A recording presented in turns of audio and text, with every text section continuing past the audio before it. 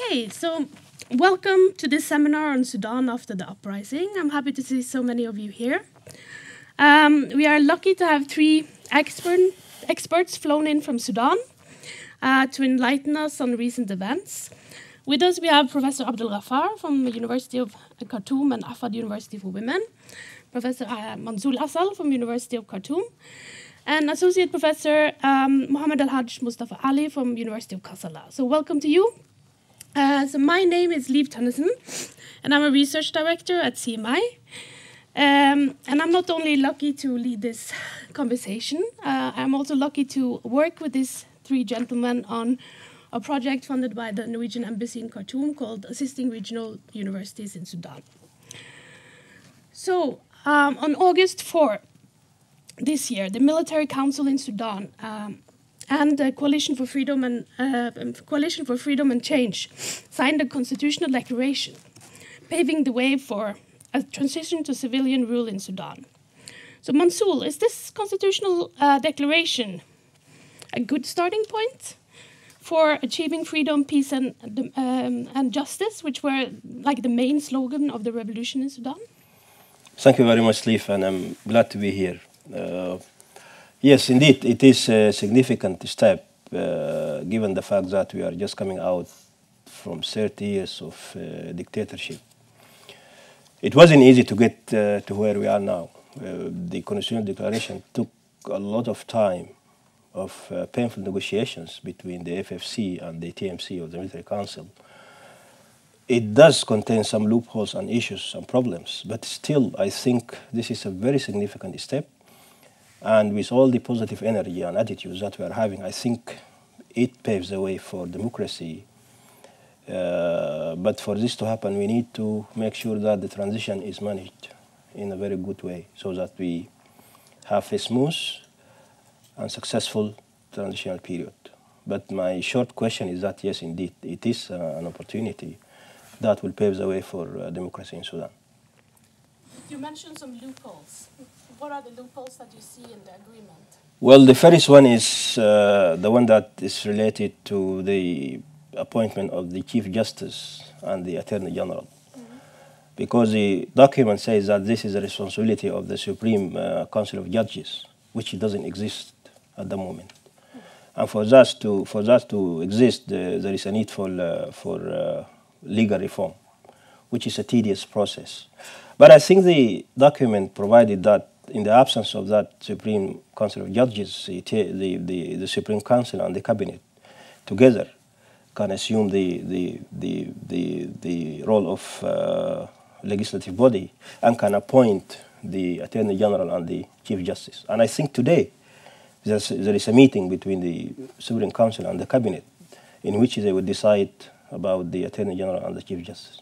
Yeah. What are the strong points uh, the strong point, I think, is the one related to the fact that none of the cabinet members or the sovereign council members is allowed to run for elections, you know, after the end of the transition period.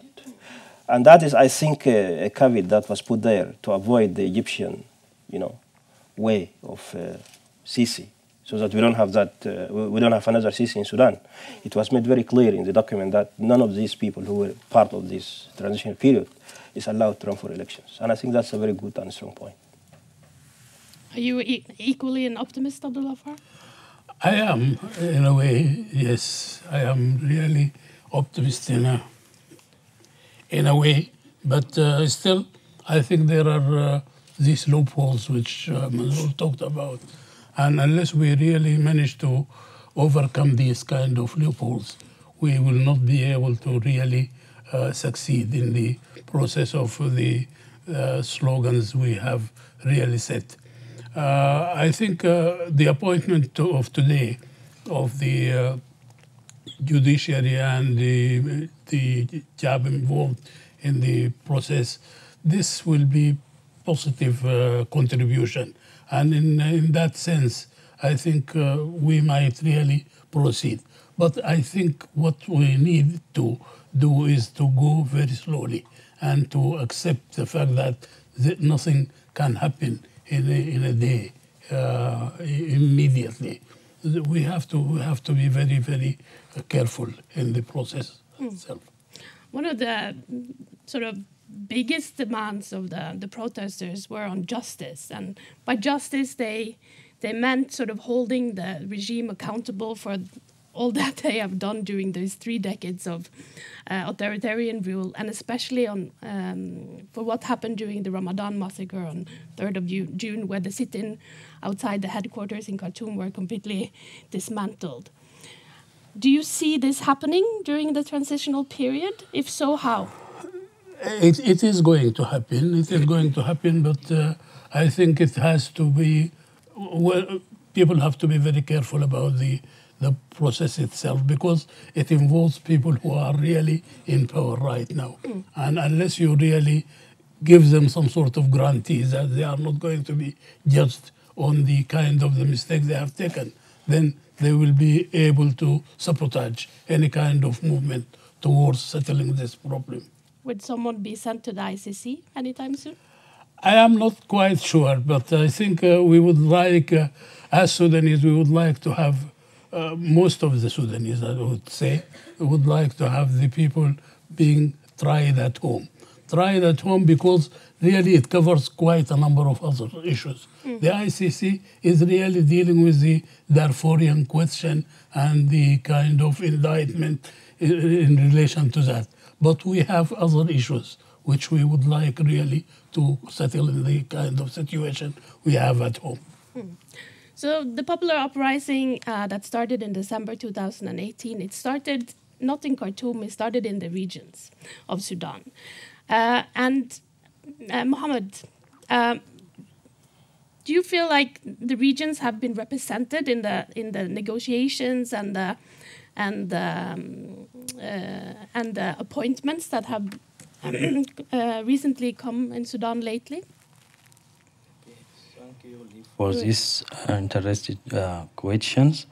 I think this revolution uh, is totally different from the that we have witnessed in Sudan during the previous uprisings.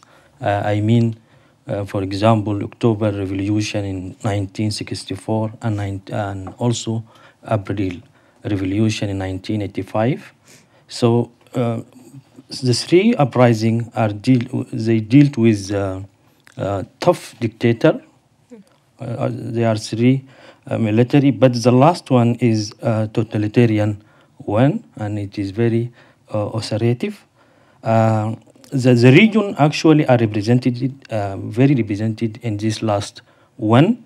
Even the start of revolution start at uh, Atbara, which located in the northern region of Sudan, and which may represent the stronghold of uh, Arab, those who uh, uh, trying to, to, to, to be superior in the region as we, we read and as we hear from rebel in Darfur and this uh, and other uh, rebels movement or armed movement in Sudan.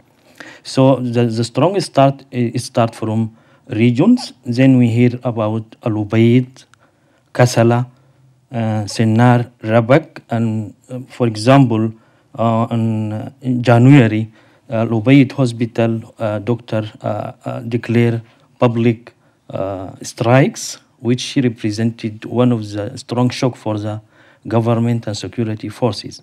So this is uh, totally different uh, compared to the rest or, or the, the previous uprising. So the region are strongly represented, and now even in the Sovereignty Council and the, uh, the, the council that will be formed in the future, the legislative one, the, all they call for representation or equal representation, uh, similar to the, that we have seen in, in Khartoum. So before revolution, everything is is done by the elite in Khartoum.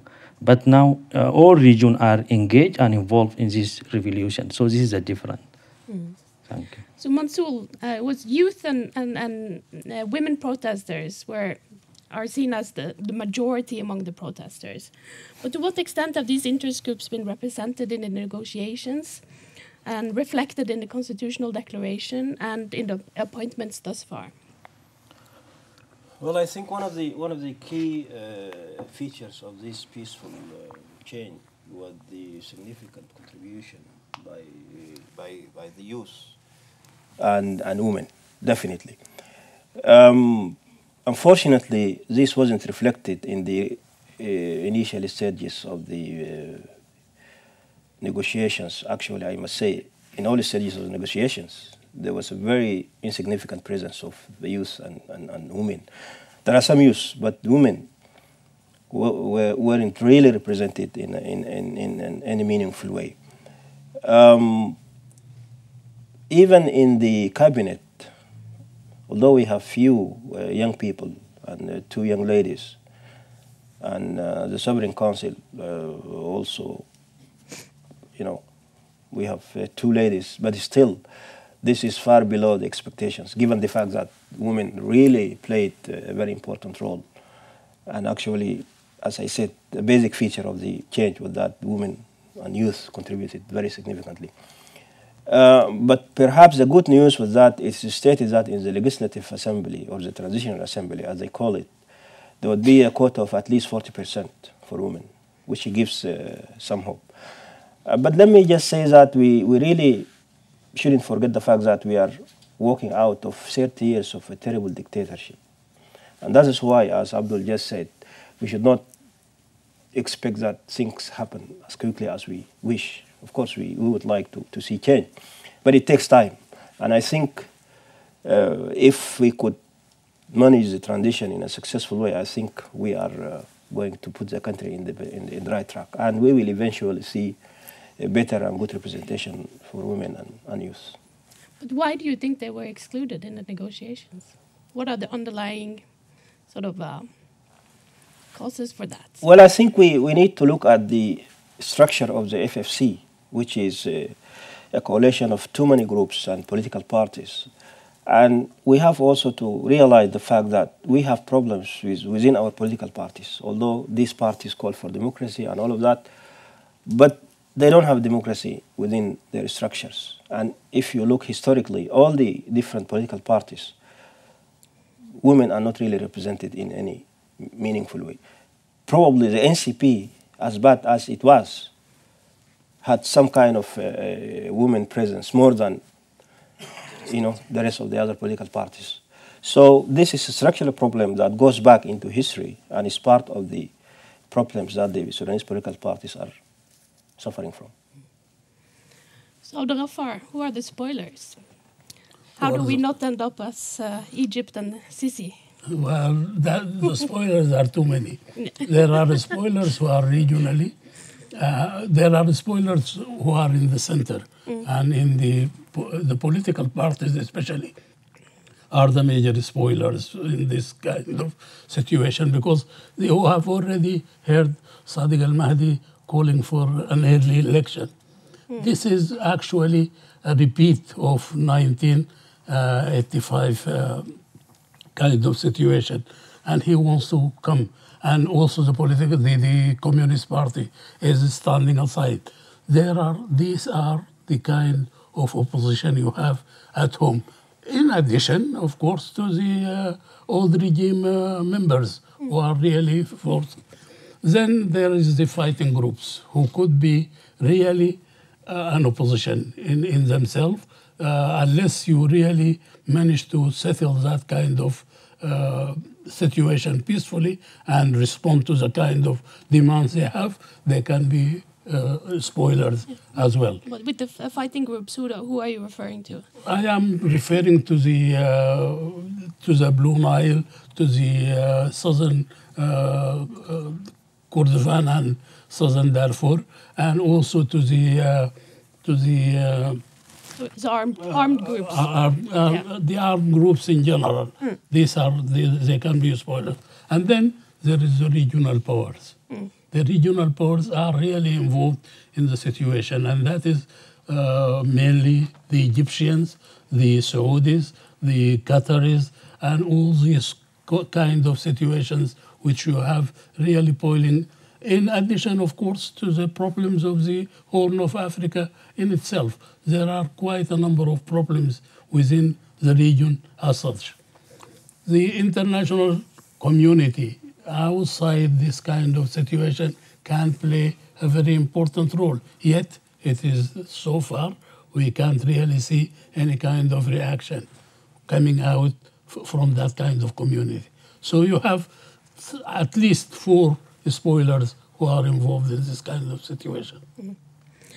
Uh, so, Mohammed, um, I've uh, I've experienced for a long time that the youth in Sudan they are very sort of um, uh, disappointed with the political parties, not only the Islamist NCP, but all the political parties. They feel excluded, they're patriarchal, they don't feel at home in them, and they've started created different youth movements. But if we fast forward three years and there are elections in Sudan, will it still be the same old political parties that would stand for election, or do you see that? Um, do, do you foresee that new political parties would form and, and we will see a real change? Because if the old political parties are still there, it's still the old Khartoum elite that will come to dominate and come to power again.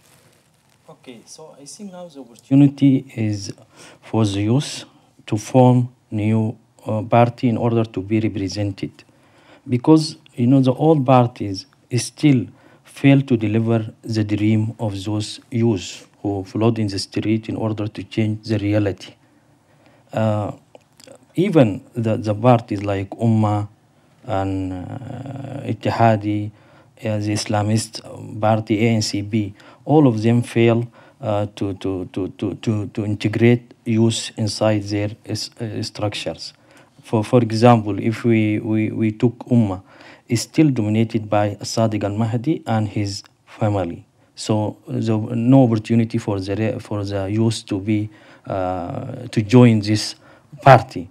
And I have heard that from my colleagues, the youth that uh, uh, are were in the sitting before near the military headquarters, they are going or they, they are intent to form new party in order to represent. And sometimes they, they said it should carry the name of the youth themselves, for example, Sudanese Youth Party or something like this, in order to, to, to, to deliver their voices to, to, to, to, to, to the world and to the, uh, to the country itself. Yeah. So the constitutional declaration does not say anything about the role of Islamic law. Why? And is it a problem, Munzoul? Uh, this is a tricky question. Uh, I think that was put aside deliberately. Uh, for some people, they say that we actually have more important issues to, to deal with during the transitional period than getting ourselves locked into uh, this kind of debate that's not going to take us anywhere. And on the contrary, it will give the opportunity to, the uh, political Islamists and the Salafists to, you know, try to meddle in the transitional period. Uh, it is an issue that, that's going to, to, to be with us. I don't know for how long, but my personal reading is that uh, for political Islamists, the situation is really becoming very difficult for them. I think it's going to take them decades to try to, to do something or to get back. Because now there is a very strong sentiment, public sentiment, that's against uh, using religion, you know, in, the, in public life. And people are becoming very vocal, very daring to, to say that, no, we, we, we are done with this kind of discourse, you know. We have been cheated for 30 years. So please. And uh, I think that is also uh, a careful, uh, you know, uh, step by the FFC and perhaps also the military not to antagonize, you know, the old kind of guards, you know, that still uh, try to use the religious card for their own purposes, of course. But then if you look at the situation, or as far as the Salafis are concerned, they are cornered, they don't have supporters, and I kept saying that they failed to organize a single demonstration that would, you know, show that they have something or that they have support. So I am not concerned that the question of religion was left out. Actually, I, I, I thought it was a wise uh, and calculated decision not to really get into it in the document or during the transitional period. Of course, as I said, we will have to deal with it. But for now, I think let us have a smooth transition that would address peace, the economy, and lifting the country's name from the list of the countries exposing terrorism. But uh, in addition to this, I would like to add uh, one thing that uh, you have the slogan of freedom, peace, and Justice. justice. This is actually freedom, as when it's put at, at the beginning. It really recognizes implicitly, it recognizes that the country is diversified. And therefore, whoever rules the country has to recognize that there is a difference, there is a, a sort of a, a diversity within, within the country itself. And I think implicitly, this, uh, as Munzoul said, the people really put the, the, the kind of uh, beliefs that people have aside. They, they, they have the freedom to, to choose. They have the freedom to be Muslims, to be Christians, to be non-religious uh, organization. This kind of freedom is really there, and that is really allows them quite a number, uh, quite a, a choice, uh, and it is a very good recognition of the kind of the diversity that we have in the country as a whole. The big question is how women's civil rights within personal status law is going to be ruled. That is a very thorny issue when it comes to uh, should Islamic law continue to determine, determine Muslim women's rights within this area, or should Sudan go for a completely civil law? So, Well, I think I think even even during the regime of Bashir, there were a lot of uh, attempts. I think you are aware of this. You probably you, you even uh, were part of, of this. There were a lot of attempts to reform the personal status law. I, I am not following exactly what happened with that, but I think there is a room for uh, for for for this kind of, of change to, to take place. And I, I just kept uh, giving the examples of uh, surrounding Muslim countries. You have Turkey, you have Jordan, you have Egypt these are predominantly Muslim, uh, you know, countries, but they don't have serious issues. Of course, there are issues with even in those countries, but not as as pronounced as ours. So, let us uh, look at the region, the other experiences, and also let us try to move step by step. I think eventually we will get there. So Mohammed, you mentioned that you know Sudan is um, has a rich history of um, rising against military dictatorships, and you have um, had popular uprisings in 1964 and 1985, but every time. Um, we had very short sort of um, civilian periods of civilian rule, and we went back to military or Islamist dictatorships. So, Abdul Ghaffar, what is different this time around? I think the difference is really the, the fact that uh, people have realized that they cannot really uh, just uh, change the thing by force. It has to be in a way a peaceful situation. It has to be uh, uh, when you look at the situation in 19 uh, uh, in 1964 and in 1985, you have to realize that the uh, political parties have come in. They have really tried to change the situation the way they can benefit out of it. But now it is the youth, the women, the younger generation, which is really showed shows uh, it realized that they have made quite a number of mistakes. These people who ruled the country before. It is not a question of who um, uh, who rules the country, but how it is ruled.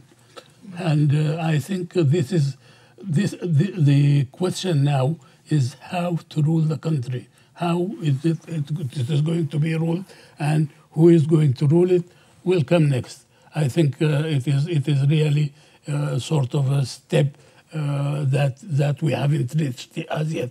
We have to decide which how we are going to rule the country. I think this is the, the difference between the 1950, uh, and 1985 and the present situation. The new generation, which is really coming to power now, is a, a generation which is doesn't believe in what uh, the other groups have really done so far. It is really trying to do it is best to try to uh, set a new way of uh, running the country. Yeah. And also, this period it, it sets out a quite, quite unusually long transitional period. So we will have election only in three years. Is this based on sort of lessons learned from the previous um, experiences? Yeah, I think I think this is critical, and uh, let me just say that in the previous uh, uprisings, 1964 and 1985, we had similar problems. There was war in the country, and there was lack of democracy. Now, in 18 in 1964 and also in 1985, the weak link in all this was actually the sectarian parties. The Ummah, the DUP, and to some extent the Islamists, who were rushing to get to power positions. So they rushed the transition, which was just very short, one year. They went to they want to get democracy. Unfortunately, they, they, they, they, they failed. They, they lost both. They didn't achieve peace, and they didn't get democracy. Because in, in 1985, the transitional period was just one year. They went to election. They totally disregarded the SPLM, which was fighting the government at the time. And, you know, uh, four years later, there was a military coup. That is why I see that the insistence of the FFC to have a longer transition period is, is very justified, so that they achieve peace. And personally, I would actually say that achieving peace in the context of Sudan is much more important than democracy, because you cannot have a, a sustained democracy if you have war. So the, the length of the transition period will make it easy or, or make it possible to achieve peace, and then we go to elections. Um, and I think the FFC got the lessons from the previous past uh, failed, you know, we have successful uprisings, but failed transitions. Mm. So having a, a, a long transitional period, I think, is healthy for achieving both peace and democracy in the long run. But this is also like the, the Islamist regime were the longest standing sort of dictatorship in Sudan. So many of those that we are talking about, the young generation, they have been born and raised during this regime. And, and this regime has, and you have come up with the term, they've created almost like a parallel state. Sure. It's really like a deep state. How do you dismantle it? Um, it's not easy, but luckily, as I, I said in one of the blogs that I wrote, I, I, I think what we have is not a deep state. We have parallel state, mm. you know, mm. which means that with, uh, with uh, legal reform and, uh, and a tough, uh, you know, stand by the traditional cabinet, I think we can, we can, we can dismantle these structures. And the very fact that the NCP has just disappeared, you know, at, or at least that's how I, I see it, means that these people can easily be dealt with. Hmm. So there is a chance, and what makes this chance even stronger and, and more possible is the fact that these people lost sympathy. Now we are looking at them as just a bunch of thugs and thieves. Hmm. And the president is in, the, in, the, in jail complaining about mosquitoes, you know. So this is, uh, it's not easy, but there is a chance that you, we, we can deal with this. Another sort of difference that I've noticed uh, um, is the strong role of the diaspora in both in the uprising and also in the aftermath. Could you say a little bit about the role of the diaspora? The, the diaspora is uh, it has the taken diaspora. a very important role in in the country, trying to uh, enlighten people, the to trying to enlighten the international security. But I must say that there is also one thing which I have to uh, talk, uh, to, to uh, address with the diaspora, and that is merely these people are a little bit removed from the country. Mm. the demands we are now seeing are, uh, and people are very hurriedly trying to see the changes that happens. The, if, if, they, if you put them back into the country and they realize the situation of how difficult it is really to to to uh, to manage the situation in the in the country itself.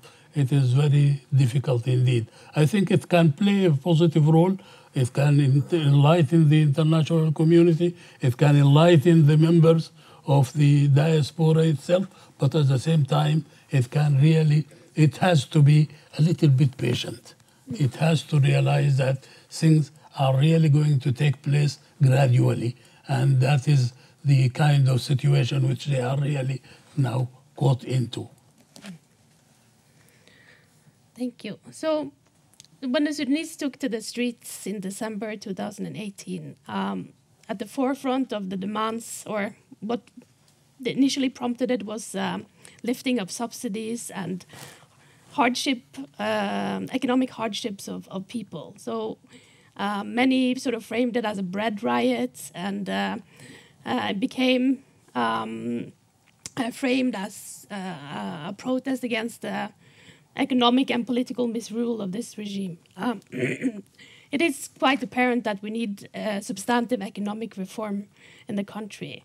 Um, what do you see as the necessary steps for this to take place and actually change norm, ordinary people's lives, Mohammed? Yes, thank you, Liv. I, I think at the current uh, stage of uh, development, just we can deal with uh, uh with the short-run issues. Now people are queuing, uh, still queuing for bread, still the car queuing for fuel in Khartoum. It is not totally different from what we have seen during al-Bashir regime. So now we are relying on our partners, for example, AU, African Union, and Gulf countries, maybe Saudi Arabia, uh, AU, to support us in order to, to, to, to, to pass this stage. For the long run, I think we, we, are, relay, we are going to, to do some uh, restructure for our economy in order to, to, to, to, to give uh, more opportunities to the private sector in order to run the economy. Because if we go back uh, to, to, to the previous period during al-Bashir regime, uh, we don't have a pure uh, capitalistic system. It is totalitarian system that the, the, the supporter of al-Bashir, they are uh, capturing everything in the economy and they exclude the rest of the uh, private sectors. Most of the people maybe take their money and go outside to Egypt, to Ethiopia, to Kenya, to Uganda to invest there. Why? Because if they stay here, they will be uh, they will suffer from taxes, which will um, Al Bashir for our no taxes will be imposed on them.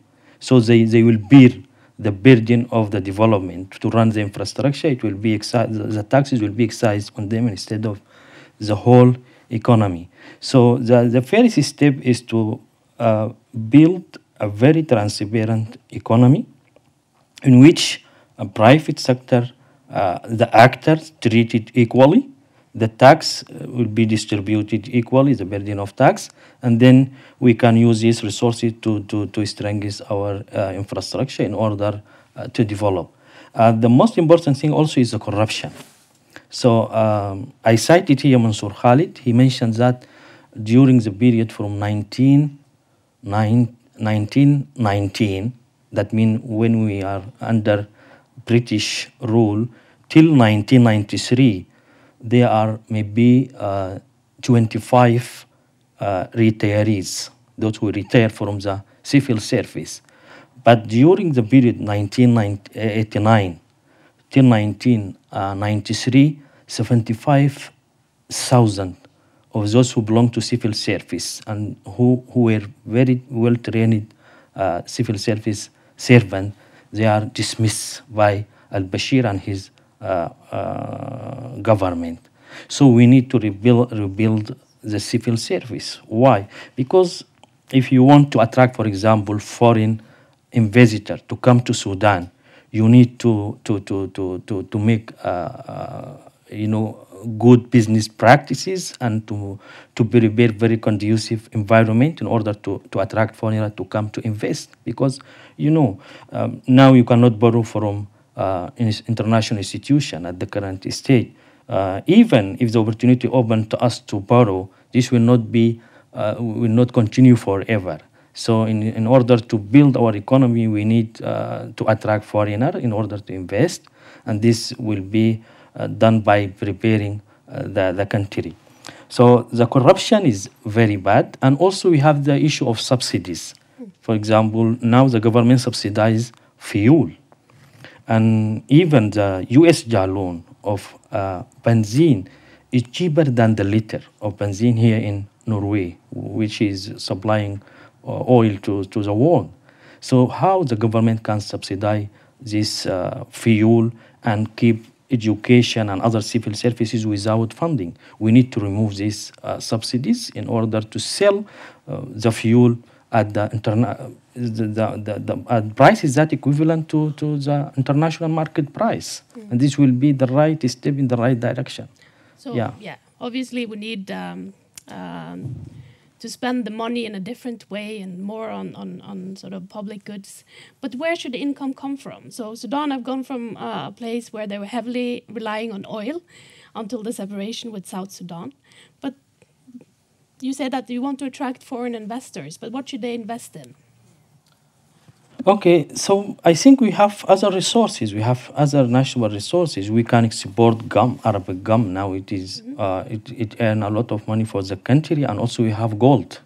The gold is smuggled to Egypt, to Eritrea, to Ethiopia, and we have sesame seeds. So we have many products. We have animal resources. We can export it to the rest of the world and then bring this hard currency. But if we talk about the current situation, what we rely on is to, to remove sanction, to lift Sudan from uh, terrorist sponsor state list that uh, prepared or designed by the USA, which may take a little bit time to be done.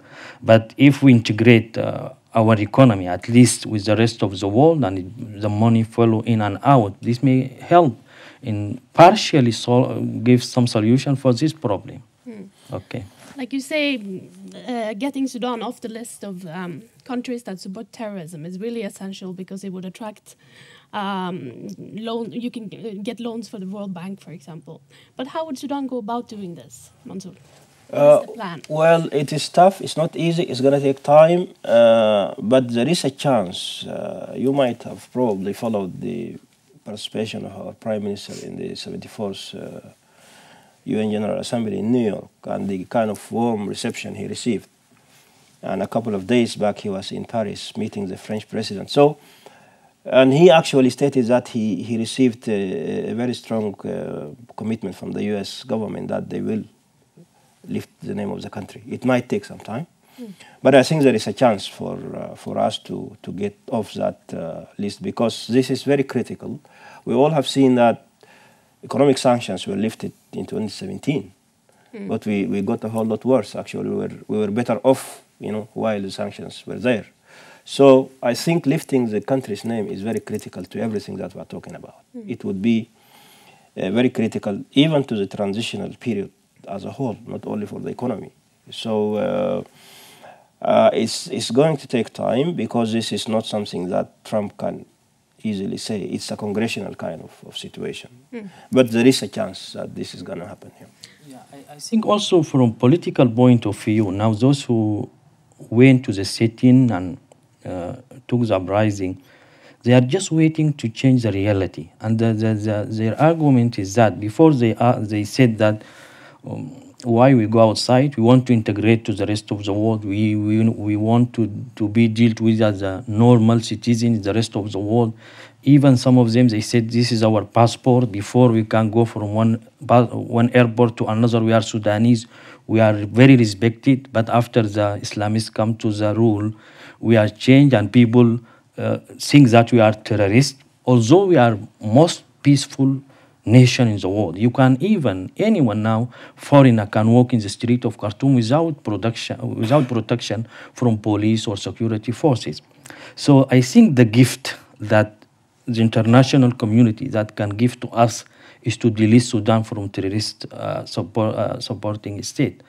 So, so we can say to our enemy, enemies in the NCP, look, now we are free, and you are uh, uh, you are deteriorating our life for this long period of time.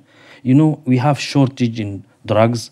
Some life uh, saving drugs in if you go to pharmacies not exist because either you can import it from Jordan, from Egypt, and most of people claiming this is fake drugs.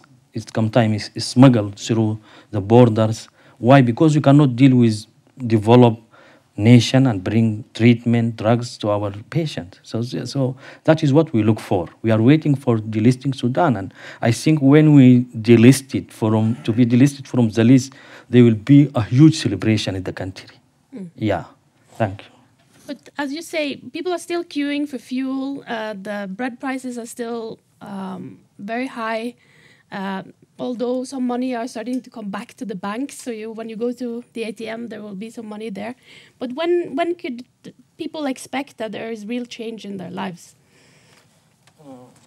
I think for the, the, the, the, for example, if we took the bread, for example, the queue for bread, it is a matter of we need to import more uh, wheat, although we have very fertile land.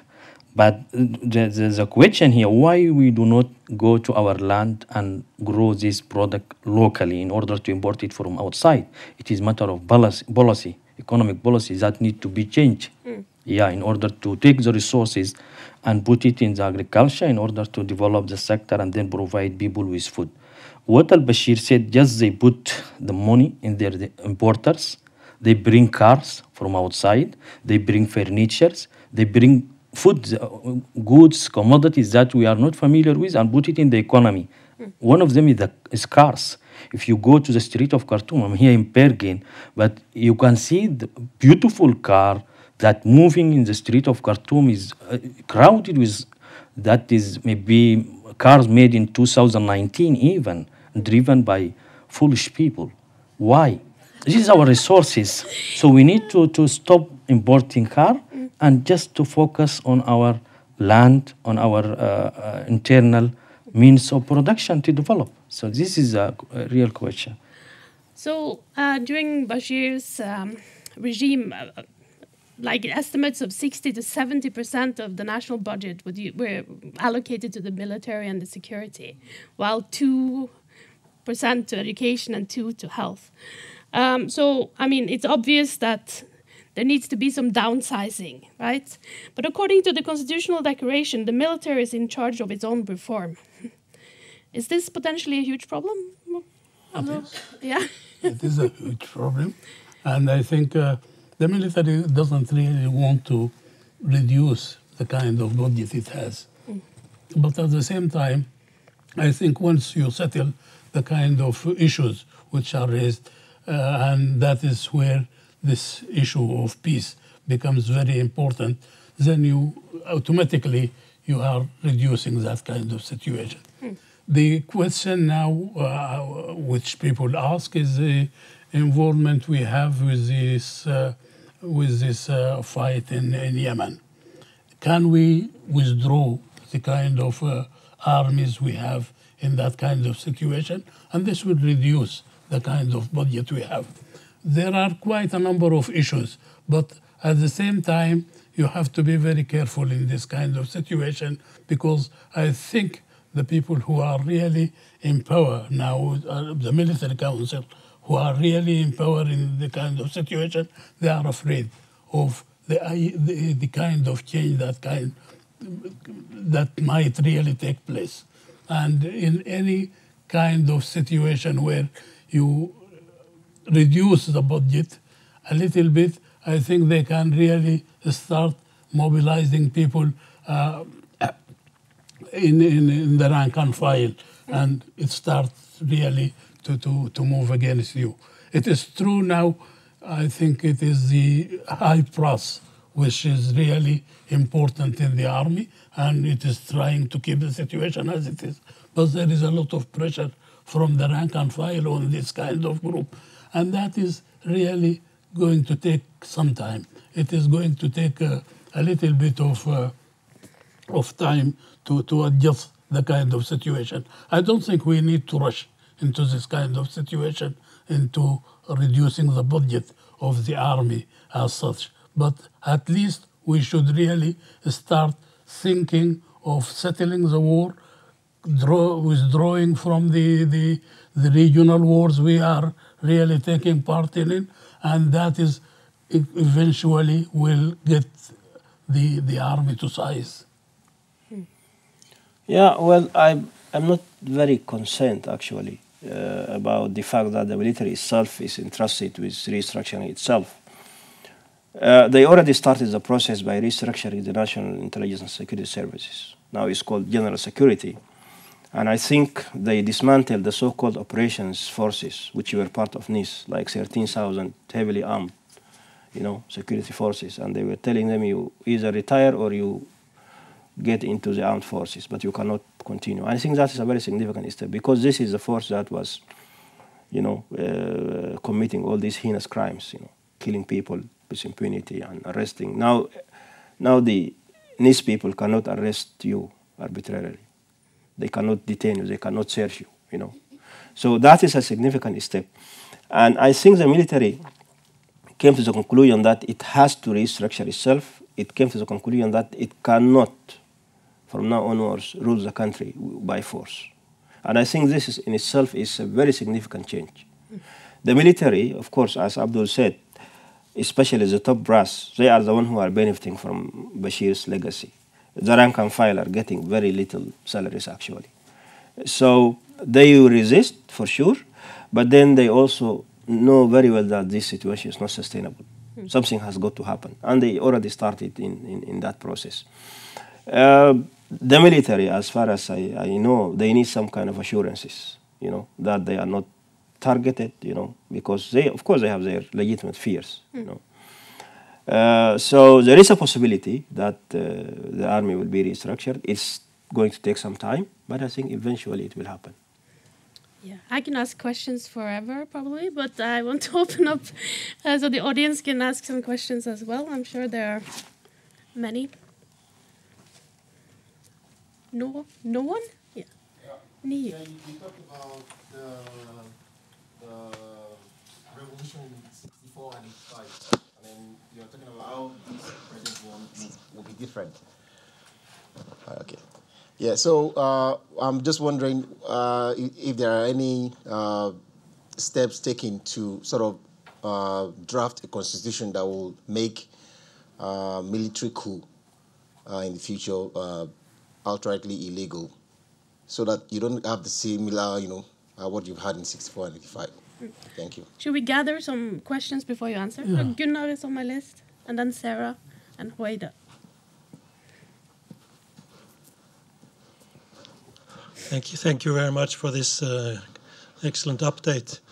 I think uh, one word which uh, you used, uh, I think all of you, is very important. That one of the big challenges to this revolution may be the lack of patience.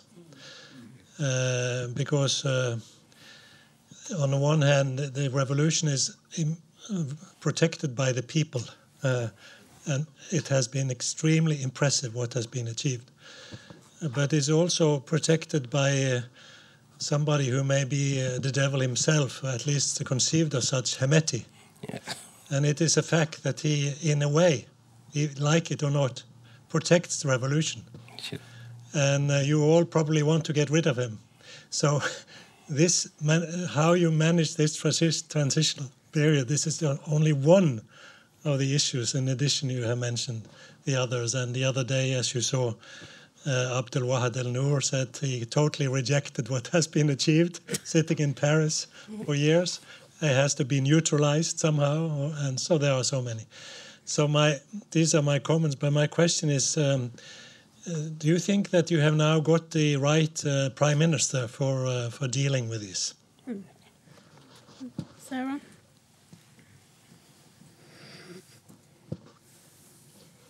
Thank you very much for the wonderful talk. Uh, my question is um, really for anyone, but probably Munzoul is best um, equipped to answer. Uh, I'm just wondering what the implications have been and will continue to be for migration. Uh, Sudan has a very generous uh, migration uh, policy and welcoming people both as uh, temporary migrants and as um, refugees. And so I'm just wondering if there's been any changes to the kinds of policies or the anticipations of changes to those policies. Will it become more closed into specific groups and why. Should we take a short round and then uh, wait and end on my list after that? Yeah. Okay, um, but to the question about the constitution, I think the transitional period is, is, is governed by the constitutional declaration.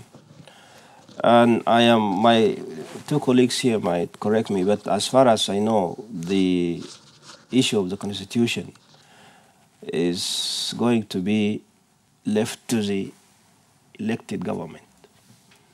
But for now, we have the constitutional declaration that's going to govern uh, the transitional period. There might be preparations for the constitutional work, and of course, also the legal reform. But for now, we have the document that was signed on the 17th.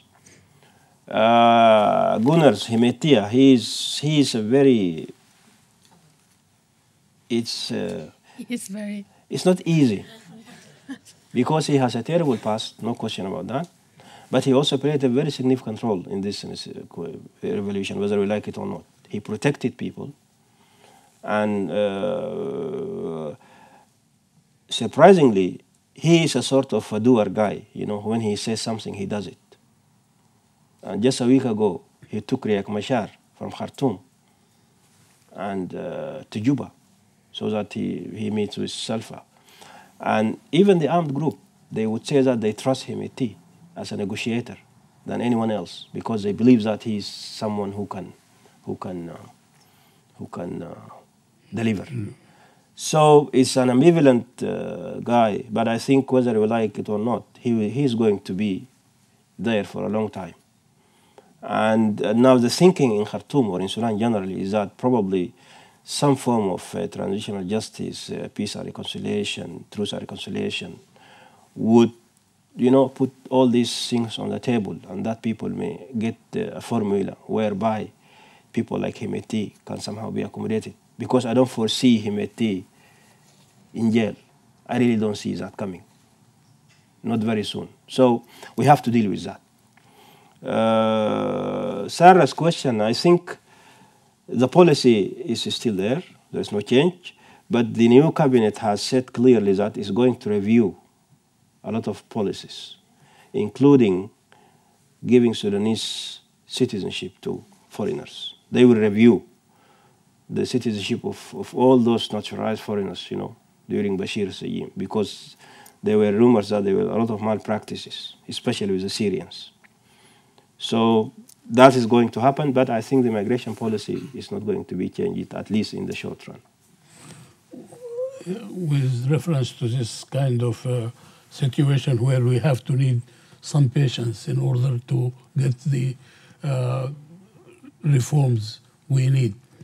There, is this this uh, uh, regime of uh, Bashir has ruled for 33 years, and you cannot really just change that within six months or at least three years.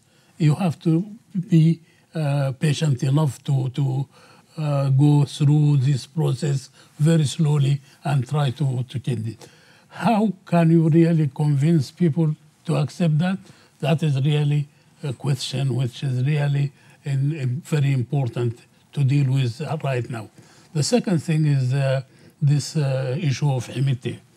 And uh, I think uh, if you look at uh, Khartoum today, you will find that SAF has really, the, the uh, military forces have really taken a side. It is Hemeti who is really, uh, whose uh, forces are really controlling the whole situation. And I think he is really, in a way, the most strong person so far within, within the, the fighting group, within the, the military situation. And I think uh, he will take some time. It will take some time to really force him out of this the kind of situation he has. And I think probably one has to revise the whole kind of issue in relation to Hemeti. If he is really well trusted, as uh, Munzoul said, by the people even who were fighting against him. If, if uh, people in Darfur, uh, Abdul Wahid and others, are really now uh, sort of uh, feeling that, at least uh, many, uh, the, this Zaghawa group, they are feeling that they are really able to negotiate with Hemiti and reach some sort of conclusion with him. If you, if you really get into that kind of situation, then you have to realize that this is going to be a, a person who is really going to be for a long time in this kind of situation, and you have to find some way, some balances to really get him out of the problem he has right now, whether this is the ICC or whether the uh, fighting groups themselves. You have to have a historical compromise where you can really fit him in the right position he should be really in. Okay, so for regarding the question by Prof. Gunnar, I think it will be better to to to to to, to see Hemeti on the boat instead of, for example, if we threw him away and now he in Darfur, maybe he's going to do something else. Yeah, and even I, I know that people rejecting um, armies because they think they are more uh, undisciplined. Yeah, but according to, to, to, to the information that available to me, and even I negotiated with some army officer, they said that in each truck, for example, you find that there are three from Hemeti forces, that uh, rapid forces, and there is one from uh, intelligence, and there are three also from armed forces. So they are mixed. In order to make them uh, to deal uh, in disciplined way with civilian people. So when you see a, a, truck in Khartoum situating in any place in the street, they, they are not not all of the on that truck are belong to the, the, the, the rapid forces. So at, at, the current stage, we need Hemeti, I think, at least to to to to keep uh, those who belong to the NCP saying no words, at least. Thank you.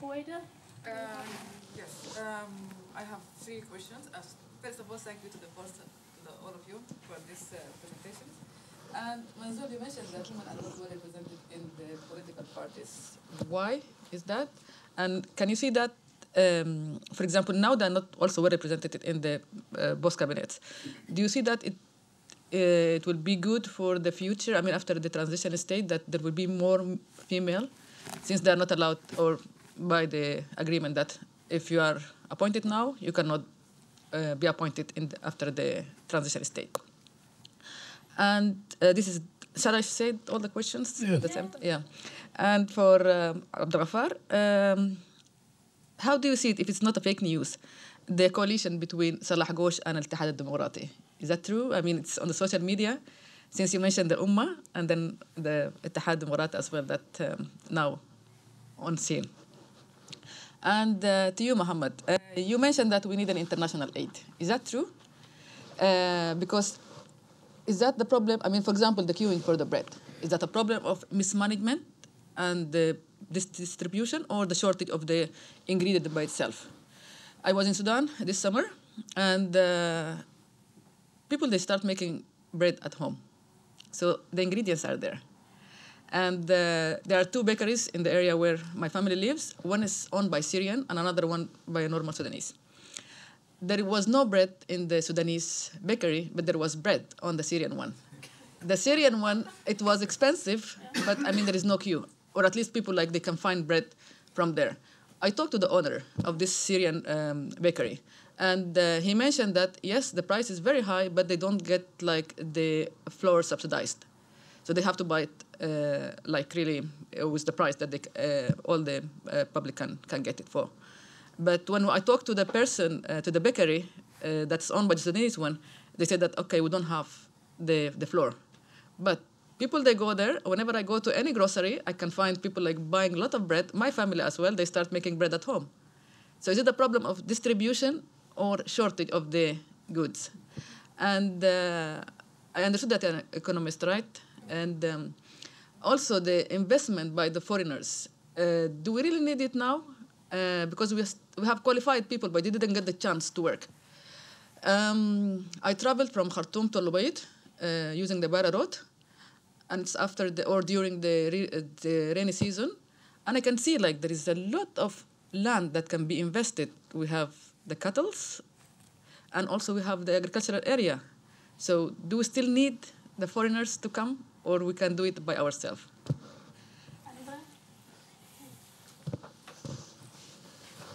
Thank you. Um, it was great listening to you, and thanks a lot for you know uh, excellent moderation as well. You know, because you pointed to many of the important questions. I also think, you know, that it's great to see so many people attending a Sudan seminar. It's like in the good old days. And just to comparison, we had a couple of weeks ago in Oslo a Sudan seminar, and it was 80 people attending. 80. 80. You know, so there's a, a, lot of interest in this, and I think this, you know, me representing the government, it's very, very welcome. Of course, there are many issues that we could uh, touch upon here um, and notice a bit of um, maybe hesitance to celebrate in the panel. Uh, maybe because you're tired, maybe it's because you know your the is just sinking in. I don't know. But there was one comment that, that you made, Abdel Ghaffar, that I thought was very, very interesting. Maybe you and the others can also elaborate on. Because you said uh, the issue now is not who governs, but how the Sudan is governed, how it's ruled. Uh, could you elaborate and maybe have some ideas for lessons learned, how to take this forward? And, and if you have good ideas, those ideas should then go to the peace negotiations as a way to unlock, you know, the entrenched problems, which is really the center periphery issue in the Sudan.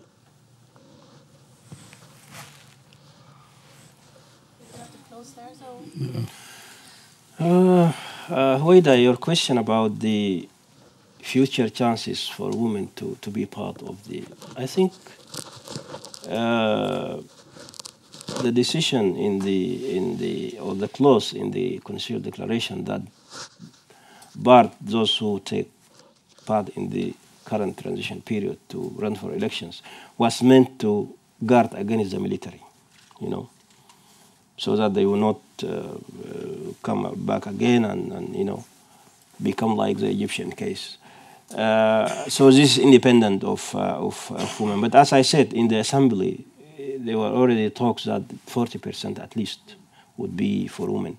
I think there is a lot of, uh, of chances for women to, to be more represented. And also, I think we might actually witness the formation of new political parties that would accommodate the youth and other groups.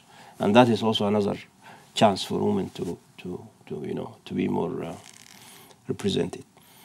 Uh, there's issue about who you know, the question is not who govern, but how to govern. I think this is critical. Now, the transitional period is a parliamentary system, you know, and people went to this option because of the terrible experience with Bashir, who was, uh, because during Bashir, the system was presidential. And the president has all the powers, he can dismiss everything, he can does what he wants. So to guard against this, people went to this parliamentary system during the transition period and gave the sovereign council very few powers, you know. But whether the country, you know, uh, fits the parliamentary system or the presidential system is debatable. And surprisingly, our Prime Minister Hamdok, uh, and this uh, reminds me of Gunnar's question. Yes, I, we believe we have, we have, we have the good man. You know, he's he's very capable. The prime minister actually, he said in his first televised interview that he prefers the presidential system. But this has to be decided after the end of the transitional period. Uh, the issues that Wait. when there is uh, with uh, Salah Ghosh. Salah Ghosh, I don't. Uh, this is the, by the way, Salah Ghosh is a security person who was in charge of the regime, the the final stages of the regime, uh, and uh, he is now. Well, he is he is free somehow, but uh, he is trying to find his way out uh, back uh, to government and when uh, I see in the, in the social media that he has been really trying to uh, link himself with the, uh, U, the UNP, the, the Democratic Unionist Party. But uh, that is still something which is uh, we don't know. We, we, we can't really judge how the situation is. But um, going back to the issue that uh, was talked about uh, by Munzoul.